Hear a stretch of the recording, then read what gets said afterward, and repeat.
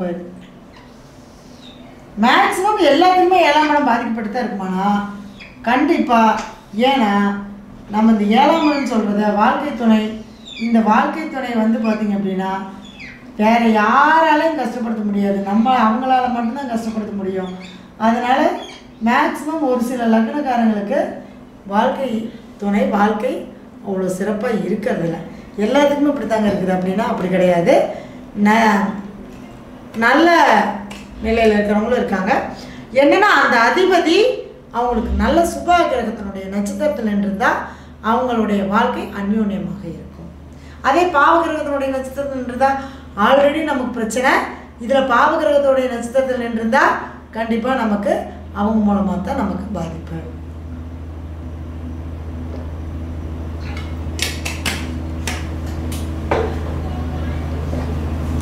இப்போ தனுசு லக்னத்தில் வந்து பார்த்தீங்க அப்படின்னா குரு மட்டுமே ஆட்சியாக இருக்கார். அடுத்தது அங்கே எந்த கிரகமும் நீசமும் ஆகிறதில்ல உச்சமும் ஆகிறதில்ல. அப்போ அவருடைய வீட்டுக்கு அவர் மட்டும்தான் ராஜா சரிங்களா? இந்த தனுசு லக்னத்துக்கு சுபர் யார் அப்படின்னு பார்த்தீங்கன்னா சூரியன் செவ்வாய் சுபர். சூரியன் செவ்வாய் சுபரா வரார் பாவரார் அப்படின்னு பார்த்தீங்கன்னா புதன் சுக்கரன் சனி. புதன் சுக்கரன் இப்போ இவங்க வந்து பார்த்தீங்கன்னா எந்த விஷயத்தில் பாதிப்பு அப்படின்னா ஏழு பத்து. ஏழாம் இடம் சொல்லக்கூடிய வாழ்க்கை அடுத்தது பத்தாம் இடம் சொல்லக்கூடிய தொழில். இப்போ நான் முதலீடு போட்டு ஒரு தொழில் பண்ணலாமாண்ணா பண்ணலாம். எப்போ பண்ணலான்னா திருமணத்துக்கு அப்புறம் பண்ணலாம். ஏன்னா நாலாம் இடம் சொல்லக்கூடிய அந்த சுகஸ்தானத்தில் சூரியன் அதாவது சாரி குரு ஆட்சியாக இருக்காரு. புதன் நீசமாகிறாரு அப்படிங்கிறப்ப திருமணம் ஆனதுக்கப்புறம் இவங்களுடைய தொழிலை பலப்படுத்தினாங்கன்னா திருமணம் தொழில் குடும்பம் ரெண்டும் ஓடும். தொழிலுக்கு முக்கியத்துவம் கொடுக்கணும். எப்பவுமே இந்த ஏழாம் இடம் பாதகமானவங்களுக்கெல்லாம் பார்த்தீங்கன்னா குடும்பத்துக்கு வாழ்க்கை துணைக்கோ முக்கியத்துவம் கொடுத்தாங்கன்னா அங்கே குடும்பமும் அஃபெக்ட் ஆயிரும் தொழிலும் அஃபெக்ட் ஆயிரும். குடும்பத்தை விட்டுட்டு தொழிலுக்கு முக்கியத்துவம் கொடுத்தாங்கன்னா தொழில் ஜெயிக்கும் குடும்பத்தினுடைய உறவுகள் அப்படியே ஸ்மூகமாக போகும். அதுதான் இந்த ஏழு பத்து. அப்போ ஒரு கூட்டு தொழில் பண்ணலாமானா? இந்த தனுசு லக்கணக்காரங்க கூட்டு தொழில் பண்ணக்கூடாது. நண்பர்கள் மூலமாக கண்டிப்பாக ஒரு தொழில் பண்ணால் அதன் மூலமாக ஒரு கௌரவ குறைச்சல் அல்லது அதன் மூலமாக ஒரு பாதிப்பு கண்டிப்பாக ஏற்படும். இவங்களுக்கு என்ன சிறப்பு அப்படின்னு கேட்டால் ஒன்பதாம் இடம் சொல்லக்கூடிய சூரியன்.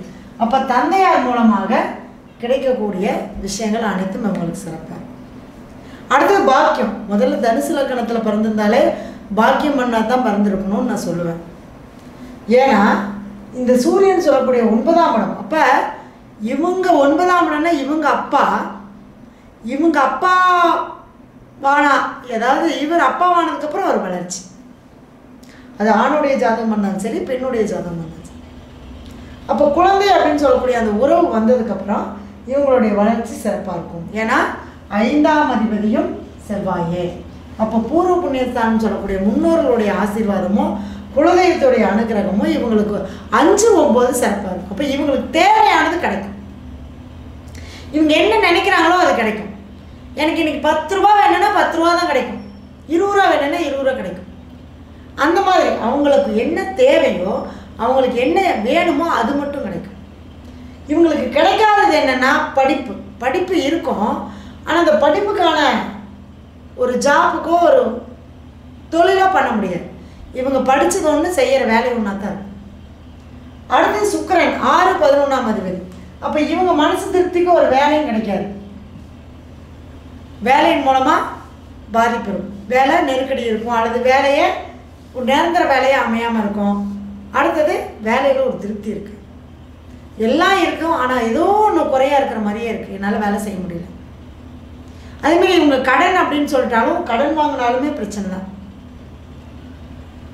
கடன் வாங்கக்கூடாது. அதே மாதிரி இவங்களுக்கு சனி பகவான். ரெண்டு மூணாம் அதிபதி. எவ்வளோ காசு கொடுத்தாலும் கையில் தங்காது. பணத்தை கையில் வச்சுருக்க மாட்டாங்க. அதே மாதிரி கொடுத்த வாக்கு காப்பாற்ற முடியாது. இன்னும் ரெண்டாம் இடம்னா வாக்கு. இவங்க வாக்கு கொடுத்தாங்கனாலே அதுதான் இவங்களுக்கு பிரச்சனையே. யாரோ ஒருத்தருக்கு சரி நானாச்சும் இப்போ பரவாயில்ல. பணம் கொடு ஒரு ரெண்டாயிரம் கொடு மூணாயிரம் கொடு.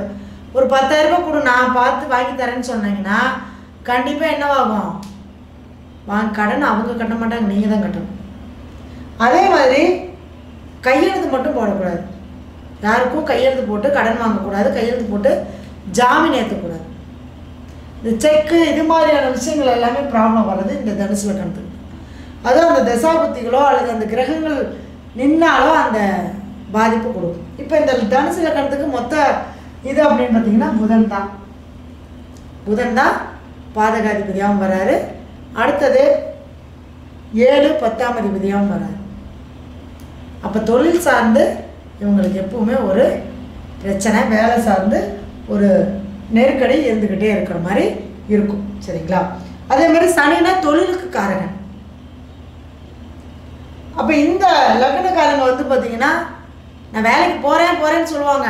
ஆனால் ஒழுங்கமாக வளைஞ்சு வேலை செய்ய முடியாது. அவங்க செய்யணும்னு நினைப்பாங்க. ஆனால் அங்கே செய்ய விடாது. அதுவும் அந்த திசையோ புத்தியோ நடந்துட்டா கண்டிப்பாக அதில் பாதிப்பு கொடுத்தே தான் தரும். இவங்க என்ன பண்ணுறது அப்படின்னு கேட்டிங்கன்னா ஏழாம் மனம் சொல்லக்கூடிய வாழ்க்கை துணை. அவங்ககிட்ட அட்ஜஸ்ட்மெண்ட்டாக போகணும். அடுத்தது புதன் திருவெண்காடு. அடிக்கடி இவங்க திருவெண்காடு போயிட்டு வந்தாங்கன்னா கல்வி அதாவது இப்போது நம்ம கல்யாணம் ஆனவங்களுக்கே நம்ம பார்க்க வேண்டாம் இப்போ க தனுசு லக்னம் ஒரு குழந்தை ஒரு படிக்கிற வயசு ஒரு பதினாலு வயசு பதினஞ்சு வயசு புதன் தசை கரெக்டாக நடக்குதுன்னு வச்சுக்கோங்க. கண்டிப்பாக அந்த கல்வியில் பாதிப்பு கொடுக்கும். என்ன படிக்க வைக்கிறதுன்னு தெரியாது. இவங்க ஒன்று நினைப்பாங்க அது ஒன்று கிடைக்கும். இல்லை அந்த மாதிரி கல்விக்காக ஒரு ரெண்டு வருஷம் மூணு வருஷம் எக்ஸாம் எழுதி ஒரு மார்க் ரெண்டு மார்க்கில் போகிறது அஞ்சு அட்டம் எழுதிட்டேன் எனக்கு ஒரு மார்க்கில் போயிடுச்சு அப்போ கரெக்டாக அந்த திசாபுத்தி வரும்போது அந்த பாதிப்பு கொடுக்கும். அப்போ இவங்க என்ன பண்ணணும்னா அடிக்கடி திருவெண்காடு போயிட்டு வந்துட்டே இருக்கணும். படிக்கிற குழந்தைங்களுக்கு ஏதாவது ஒரு புக்கு நோட்டு பேப்பர் இந்த மாதிரி தானம் பண்ணிகிட்டே இருக்கணும். அந்த குழந்தைய கூட்டிகிட்டு போகணும். குழந்தைக்கு நடக்குதுன்னா அந்த குழந்தைய தான் கூட்டிகிட்டு போகணும். அவங்களுக்காக நான் போகலான்னா அவங்களுக்கு ஃபஸ்ட்டு அவங்க தானே சாப்பிடணும். நிறைய பேரோட கேள்வி என்ன? என் பையன் வெளியில் இருக்கான் இல்லை பையன் படிச்சுட்டு இருக்கான். அவனால் வர முடியாது. நான் போகலாமான்னா போகலாம் போக முடியாதுன்னு இல்லை. நீங்கள் போனால் ஒரு இருபத்தஞ்சி பர்சன்ட் வேலை செய்யும். நூறு சதவீதம்னா அவங்கவுங்க போனால் தான் வேலை செய்யும்.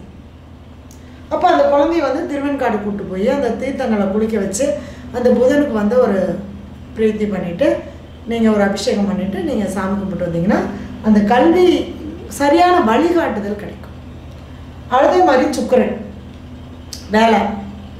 ஆறாம் இடம் சொல்லக்கூடிய வேலை வெற்றி இதெல்லாம் கிடைக்கணும்னா ஸ்ரீரங்கம் பெருமாள் அல்லது கஞ்சனம் சுக்கரன் ஆலயத்துக்கு அடிக்கடி போயிட்டு வரணும். அடுத்தது சனி பகவான். சாப்பாடும் தண்ணியும் கண்டிப்பாக வாரத்தில் ஒரு நாள் தர்மம் பண்ணிடுங்க தானம் பண்ணிடுங்க இது மட்டும்தான் ஒவ்வொரு லக்கணமும் நம்ம எந்த கர்மாவில் பிறந்திருந்தாலும் நீங்கள் சாப்பாடும் தண்ணியும் கொடுக்குற வரைக்கும் உங்களுக்கு அதனுடைய தாக்கங்கள் நமக்கு குறையும். நீங்கள் என்ன வேணாலும் தானம் பண்ணலாம். போய் ஒரு நூறு பேர்த்துக்கு கோயிலில் சாப்பாடு போடலாம். நான் முடியாத ஒருத்தருக்கு ஒரே ஒரு வேலை உணவு போட்டிங்கன்னா அதுதான் பெரிய விஷயம். நான் கோயிலில் போய் அன்னதானம் பண்ணுறேன் பண்ணுங்க வேண்டாம்னு சொல்லு. ஆனால் பசியோடு இருக்கிறவங்களுக்கு இல்லைன்னு சொல்லிட்டு பசி இல்லாதவங்களுக்கு சாப்பாடு போடாதீங்க. இதுதான் நமக்கு மெயின் சரிங்களா? அப்போ இந்த தனுசு லக்னக்காரங்களுக்கு குரு பகவான் தான் ஆட்சியாக இருக்கிறனால இவங்க யாரோ ஒருத்தர் வழியை கேட்டு நடந்தாங்கன்னா கண்டிப்பாக ஜெயிப்பாங்க. அதுவும் தாய். நாலாம் இடம் சொல்லக்கூடிய தாய். தாய் வெளி உறவு. தாய் சம்மந்தப்பட்ட அவங்கக்கிட்ட ஒரு ஆலோசனை கேட்டு இவங்க பண்ணாங்கன்னா கண்டிப்பாக ஜெயிப்பாங்க. அதே குரு எட்டாம் இடத்துல உச்சமாக இருக்கார். அப்படிங்கிறப்ப திடீர் அதிர்ஷ்டம். கண்டிப்பாக லக்னாதிபதி எட்டாம் இடத்துல உச்சமாக இருக்கும்போது இவங்க திருமணம் ஆனதுக்கப்புறம் தான் இவங்களுடைய வாழ்க்கை ஒரு நிலைக்கு வரும். ஆனால் திருமணம் அது சார்ந்து ஒரு மனசில் ஒரு சின்ன வருத்தங்கள் வழி இருக்கும். சரிங்களா? இது தனுசு லக்னம். அடுத்தது மகர் லக்னம்.